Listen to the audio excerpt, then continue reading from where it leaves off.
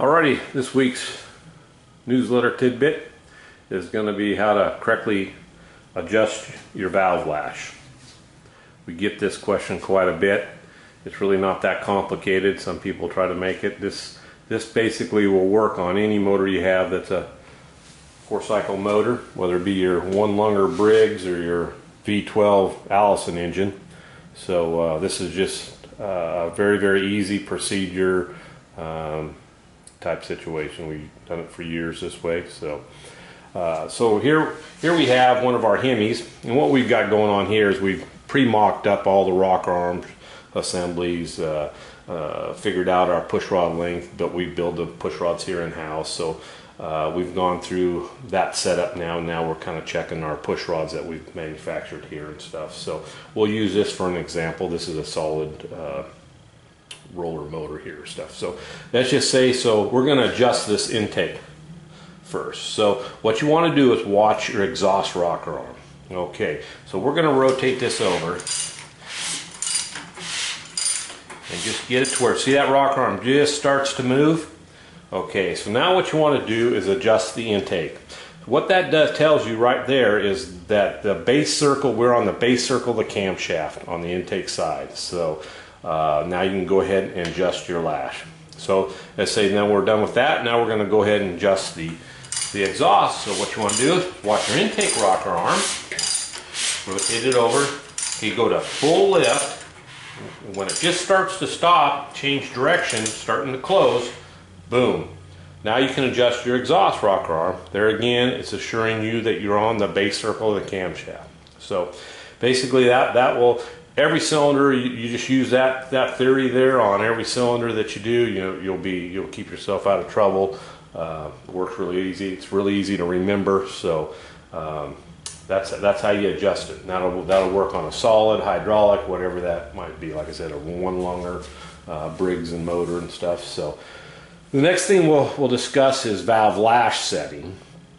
Uh, so naturally uh, you'll get a like if you get a motor from us or anybody like that, you'll you'll get this cam card, and as you can see, it'll tell you a valve lash. This one happens to be 2626. So uh, a lot of difference between cold and hot lash. So particularly, we'll kind of run through the uh, if you have aluminum heads.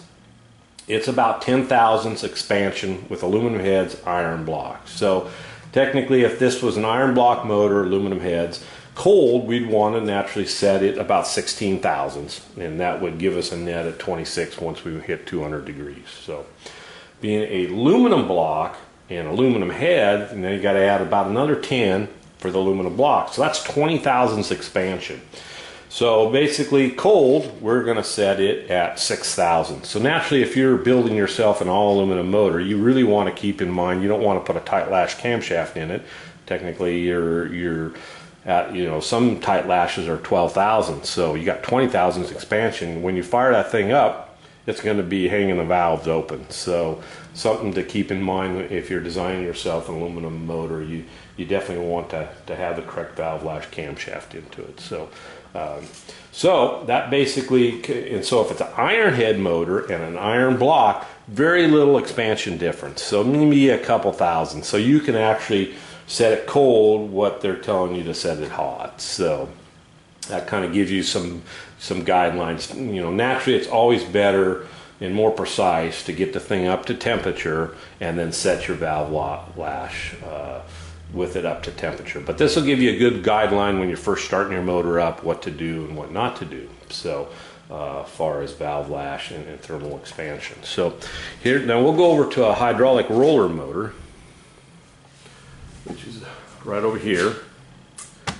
Okay, so you know basically, you know most most cam manufacturers out there is on a performance-based camshaft is going to tell you a quarter turn. So kind of a little bit of education on, on that and stuff. Uh, basically, if you have a, there, there's two studs out there, a 3 8 24 threads per inch and a 7 16 20 threads per inch. So what, what that is, just for the general public, it's going to take, on a 3 8 it's going to take you 24 turns to go 1 inch, and 7 16 is going to take you 20 turns to go an inch.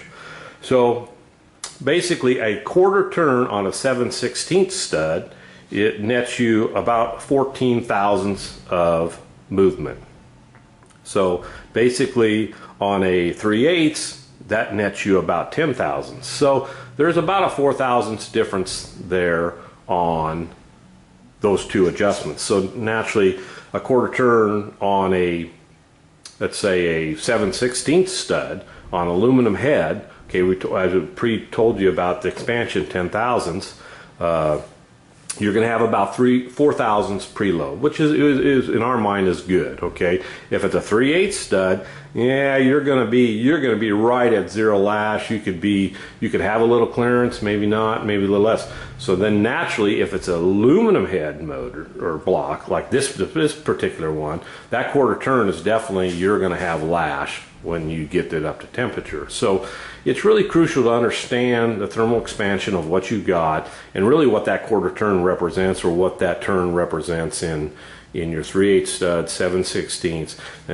if it's an all iron motor you know a quarter turn is a good bit of good bit of preload. Now you have no expansion rate there and stuff. So uh, naturally it's very very good to understand what kind of material you're dealing with in the motor what kind of thread or rocker stud that you have in the motor and so you can precisely adjust it to uh, what you think it should be. So uh, just to understand those those concepts there. So uh, so that's that's about it for uh, valve lash this week. Uh, probably in the next couple weeks or so we'll probably do a little clip on uh, hydraulic roller lifters solid roller lifters give you a little education on on the pros and cons of some of those things there too. So, um, so appreciate you uh, watching. Definitely appreciate if you would share this with everybody and uh, come back next week. Have a great one.